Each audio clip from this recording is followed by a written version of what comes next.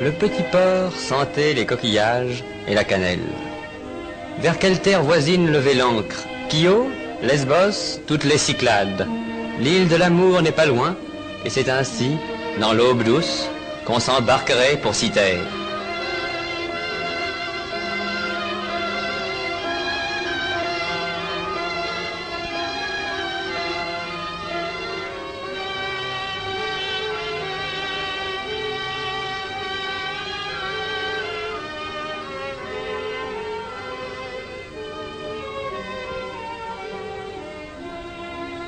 Mais l'Orient apporte ici, avec les roses et les aromates, sa crasse, son mystère et ses fléaux.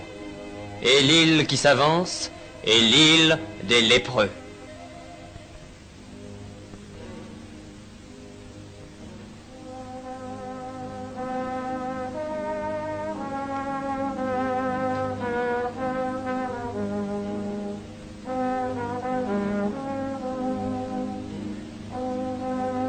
Spina longue, longue épine de rocher, flanquée de ces tours dont Venise fit jadis à la Méditerranée une ceinture.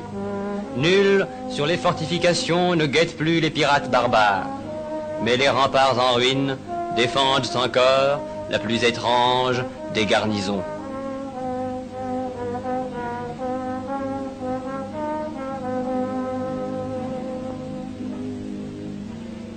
Trois cents lépreux vivent là, parqués, claustrés, séquestrés, sans même l'espoir d'une impossible guérison.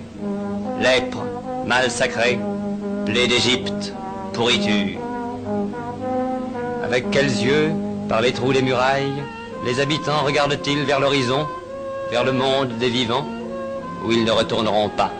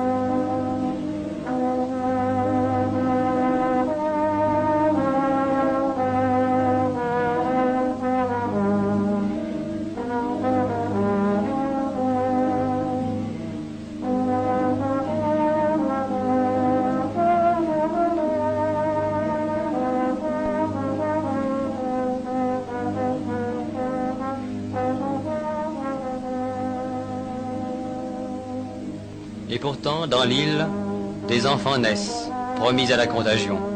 Les hommes parlent, rient, la vie y passe comme ailleurs, jusqu'à la lèpre commune où va toute chair.